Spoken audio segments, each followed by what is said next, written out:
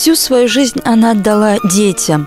У Марии Васильевны Штырковой практически не было свободного времени. Она проверяла тетради до полуночи, и всегда горел свет из окна дома и в сердце. Педагог от Бога отдавала всю себя детям без остатка, и сейчас ее можно увидеть в школах и на мероприятиях. Всю свою жизнь Мария Васильевна Штыркова трудилась в Воскресенске. В Воскресенске она и родилась. Это исторические кадры той прошлой жизни – когда мне здесь, наверное, 4-5 лет, не более, до войны, э, родители мои, э, папа и мама, работали на химкомбинате в тот пору. И мама даже участвовала в строительстве первой школы немножко, хоть она не, э, не имела специальной профессии строителя. Ну, какие-то разные работы выполняли. А отец работал на химкомбинате.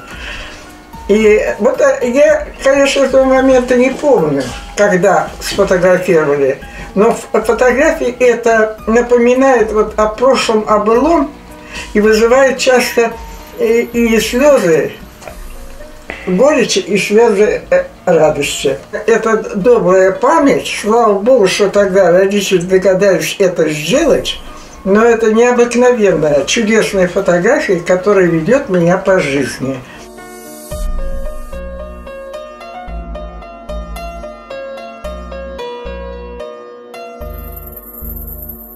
Родилась я в 33 голодном году под Красным Знаменем, а в 41-м, когда началась Великая Отечественная война, мне было 8 лет, и тогда с 8 лет дети шли в школу, и я пришла учиться в первую школу, первый класс. И была замечательная учительница начальных классов.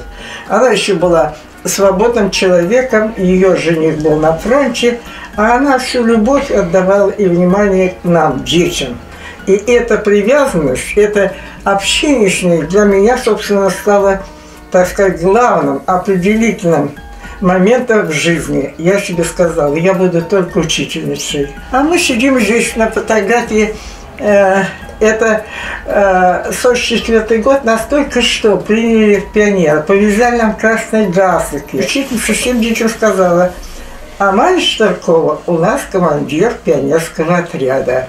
И это, конечно, в памяти остался. Да, вот, наверное, с тех пор я и все иду в лидера. Самая-то главная награда жизни, знаете, какая? Вот она на витрине, посмотрите. Буквально, да. Вот, да, за отличные успехи и примерное поведение – ученица 4 класса в 45 году, 30 июня. А там еще был приложен листочек «И за помощь фронту». Это так нам внушала учительница. Сейчас волонтеры в моде, а тогда мы ходили помогать матерям, у которых уже погибли на фронте сыновья или мужья. Им было плохо жить, они жили в Кривякино, это была, считалось деревней, и мы организованно ходили туда. Мальчишки по-мужски поступали, они пилили дрова, рубили их, а мы мыли полы, собирали мусор, а, а, а, чистили всю э, э, э, дворовую часть от всего плохого. Вот это был наш труд. Перед ранеными бойцами Красной Армии Маня Штыркова читала стихи Константина Симонова «Жди меня».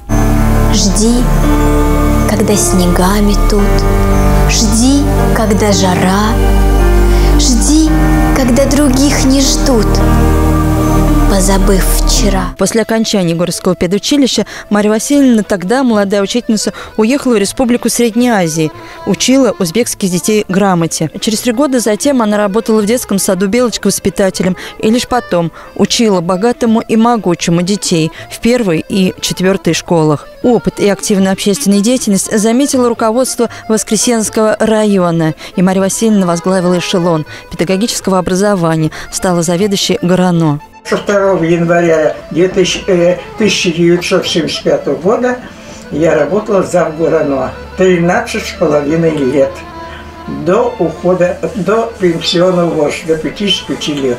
Я часто бывала на трибуне, когда шла демонстрация.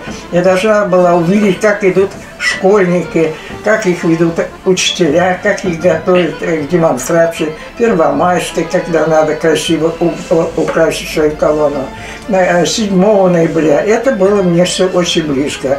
По, своей, по своему замыслу я, конечно, наверное, от родителей у меня это, эти чувства. Патриотизм, вот, ответственность, э, обязательно э, все продумывать до мелочей, отвечаешь, отвечай как следует. Мне было все интересно, я, конечно, служила детям, чтобы их жизнь была в школе наполнена интересным содержанием.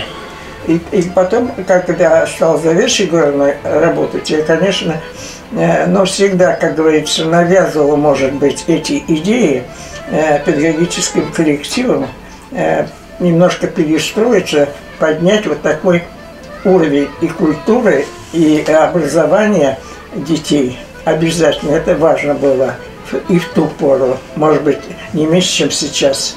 В 70-80-е годы, благодаря усилиям Марьи Васильевны Штырковой, открылись 11 школ и 15 детских садов. Заведующая Грано добивалась, чтобы во всех школах дети учились первую смену. Инициатива проведения конкурса «Учитель года» также принадлежит педагогу. А потом, значит, меня пригласил работать в пятнашку Кремер, Царство ему небесное. Он очень хотел, чтобы я пришла к нему работать. Но я согласилась я пошла, э, узнала, что на меня возлагается, сказала, хорошо, я годок у вас поработаю. А сложилось так, что я работала 11 лет. Мне понравилось э, возможность э, реализовать все задуманное, что я не сумела сделать, работая за Замгорано. А там я смогла много в чем себя проявить.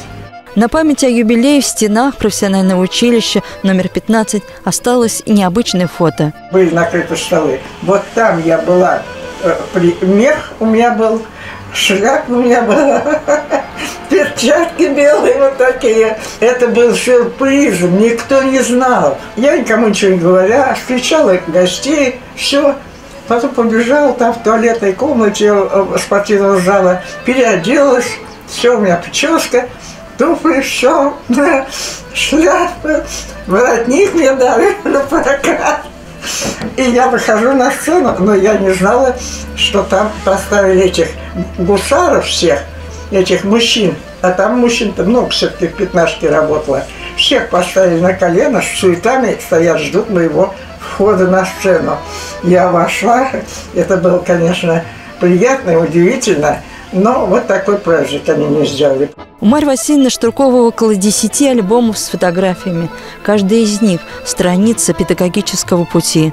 Она часто перебирает снимки, и всегда взгляд останавливается на дорогих лицах детей, коллег в образовательной сфере. И возникают дорогие сердцу воспоминания, из которых можно было сделать еще не один фотоальбом.